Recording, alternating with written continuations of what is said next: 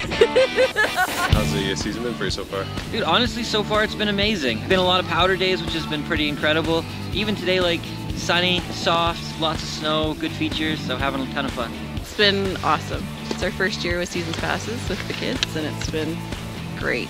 Conditions have been perfect every day for one reason or another, either sunny or good snow or no people or whatever. They've been perfect every day. So many fresh powder days and um, even when it hasn't snowed for a while, the conditions have been great, snow soft. Yeah, can't complain. It's been fantastic. It's just been amazing. We've had some days of powder that have been so good I thought we were heli skiing. It was amazing. The base is awesome. We got the best hill going. Slopes are perfect. Piste is tight. It's great, man.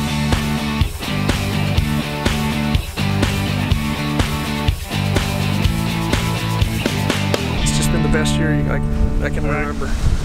Loved every minute.